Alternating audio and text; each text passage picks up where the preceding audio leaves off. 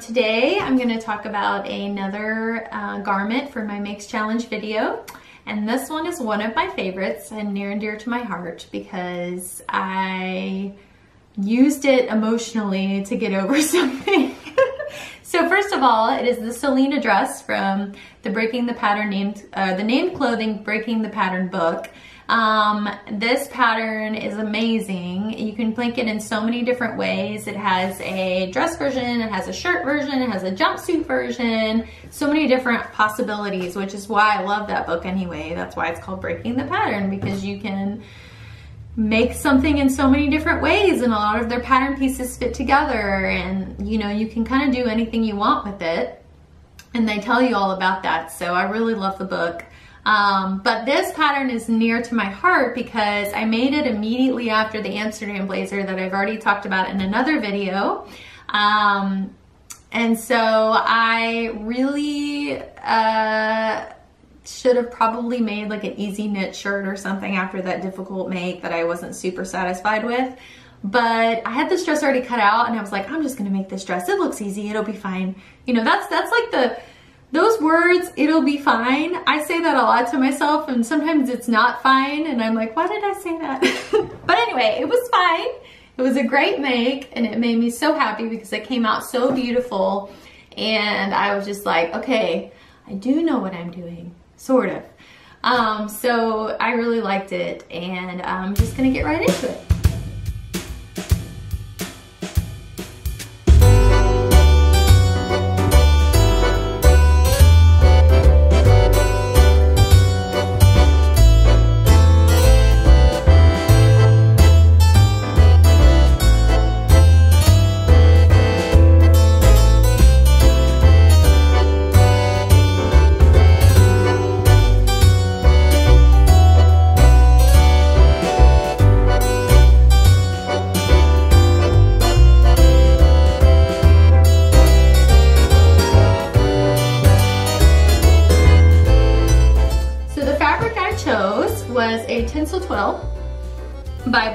Fabrics. I know that they don't have this colorway right now, um, but it's called Printed Tencel Twill, but they have two other colorways on their website. Um, it's very gorgeous, drapey, just so lovely for this pattern. Um, it's the perfect weight. I feel like I like how heavy it is. Um, and so I really liked that. And um, the other possibilities for fabric would be like a viscose or even like a linen or a crepe or like a suiting, a crepe suiting or something like that would be awesome. I feel like this is pretty versatile um, and could be made in a number of different fabrics. Um, if the fabric's really structured, it'll just have a different look, but I don't think it would look bad. It just won't be as flowy and drapey. Um, so moving on, uh, the pattern layout. So I need to also talk about, you know, how you trace the pattern. So basically, um, there is a way on their website through the book to um, get access to their patterns online, but I haven't quite done that yet. Um, but I do just pull out the pattern and trace it. Now there's a lot of other patterns on the, um, the sheet that they provide because they're kind of squishing them all together and they overlap each other. You just have to find the right color. It's all very well labeled. Make sure you get all your notches. Um, and then this, these pattern pieces are so long because they're basically like the, from the top to the bottom of the skirt is like one piece. Um, I mean, there's multiple that you sew together around the dress, but like it's it's like you're so you're basically you have the length of the whole piece. Um, so to trace that piece was just a little bit more difficult because you have to like trace on your tracing paper and then stop because it's not the whole pattern piece can't fit on one of their pages and so you have to stop the tracing and like put like a little mark and then you have to continue tracing the rest of it with another sh pattern sheet um, underneath. So you just have to line it up and, and it's not that difficult, but I was just kind of like, oh, this is crazy. Um, but uh, it worked out. So, and the layout is really easy. It's very self-explanatory. There's really nothing crazy different about it.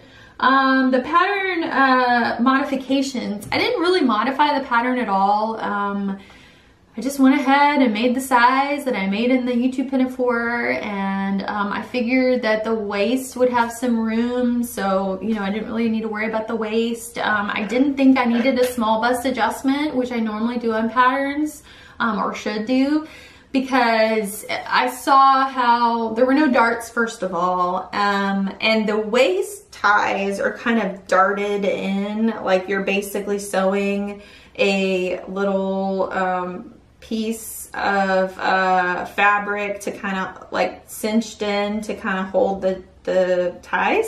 So um, that, I mean, there was no way to like adjust that and there was no need really because it kind of cinches everything in and then the waist ties will cinch everything in. So I figured it would be fine and it was. Um, so I didn't need to do that. So I didn't really modify the pattern at all. I didn't make it longer or shorter, or I didn't make the waist longer or anything. Um, it sat pretty well. I do have a long torso, but there's no definable like place where there's like two different pattern pieces or like there's like a crotch seam or something that I need to take into account. Like it was all just flowy and easy. So I didn't change anything. The waist uh, ties are probably like maybe an inch or two higher than my actual waist um, because of my long torso, but that didn't really matter.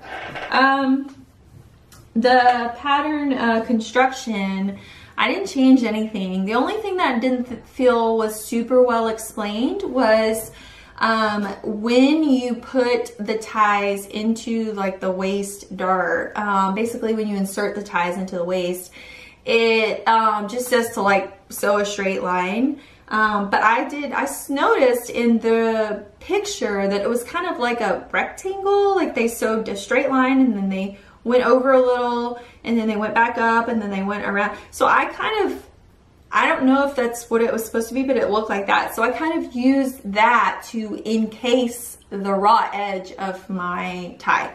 Because when I sew just a straight line, it's like the raw edge, like if you reach down in there, let me show you.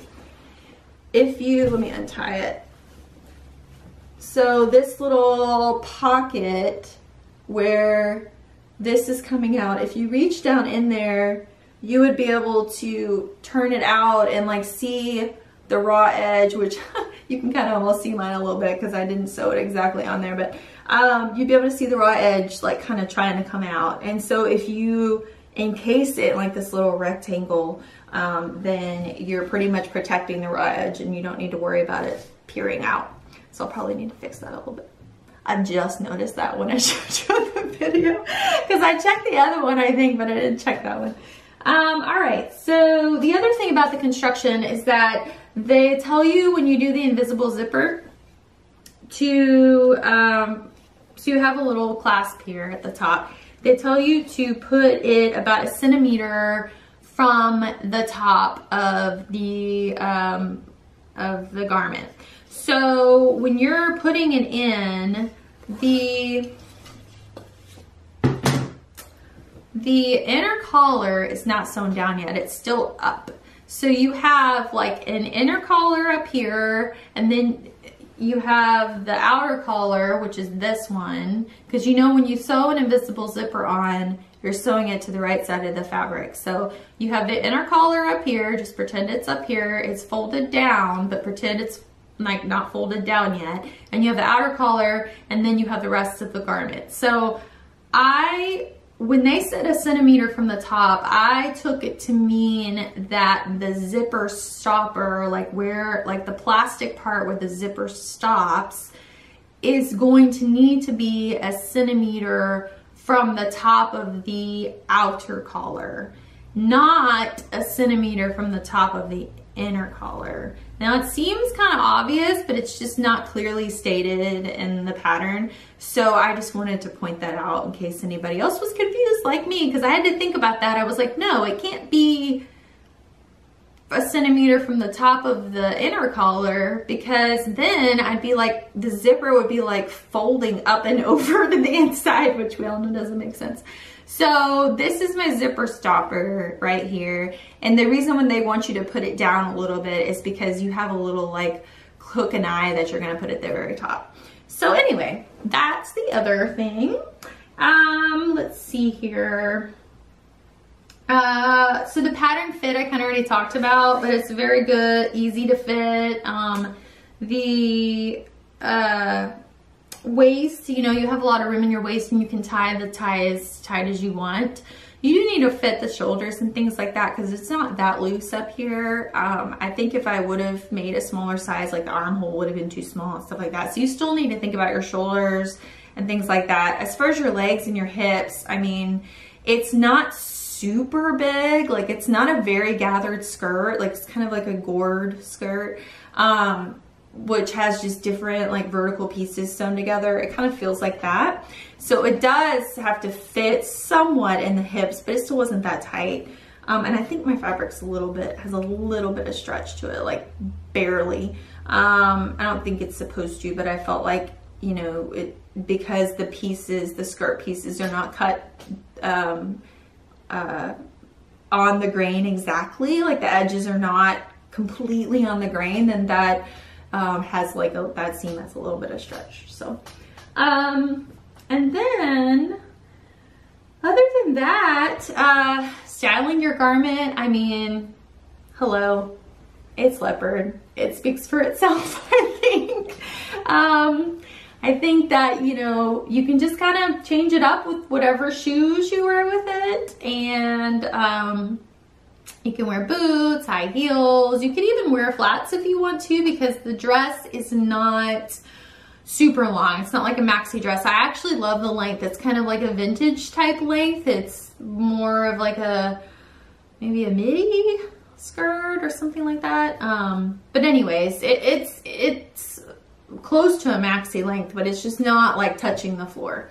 Um, so I really liked that part about it. And other than that, I mean, just do whatever you want with it. It's not, I think depending on the fabric you choose, like you could make it in linen, that would make it a little more casual. Um, the fact that it has like this collar um, that, you know, it's not super tight, but that kind of goes around your neck, um, gives it a little bit of structure. It makes it look a little bit more fancy, but um, I still think you could wear it like, you know, in a beach setting or at dinner or somewhere in a on a special romantic island or something in linen and it would be like flowing in the breeze or you know some viscose or chiffon oh man that would be pretty um, there's some chiffon on mood fabrics if I can find the picture I'll put it up here but I was like dying over it I wanted it really bad it's embroidered and then I was like it's a hundred dollars a yard.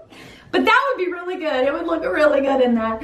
So um, yeah, y'all should do that and uh, show it to me. So yeah, that'd be great. You should get on that. All right, so I think that's it. If you like my rambling on and my videos, um, hit the subscribe button down below and the notification bell so that you can know when I have another video because you don't want to miss that. Um, and be sure to check out my blog. I will have a blog post about this. It's victorialucilleanne.com. And then um, make sure you check out my Instagram, which is also at Victoria Lucille Anne. Um, it's a new name, and I have a little post explaining uh, why I changed it. So um, it's a pretty cool story. So go ahead and check it out. Um, let me know if you have any questions. Let me know if there's anything you want to see, like any different kinds of videos or any other videos I haven't done before. Um, and because uh, I would love that. I would like love to see what you want to see. Um, I think I might do like a tour of my sewing space at some point if y'all want to see that. Um, and just say hi if you want to say hi down in the comments below. So um, that's it. So thanks for watching. Bye. Thanks, Schnookums. Y'all like how my shirt's like the same color as my skin? it's white, you know, like blinding white. My skin is blinding white as well. Anyways,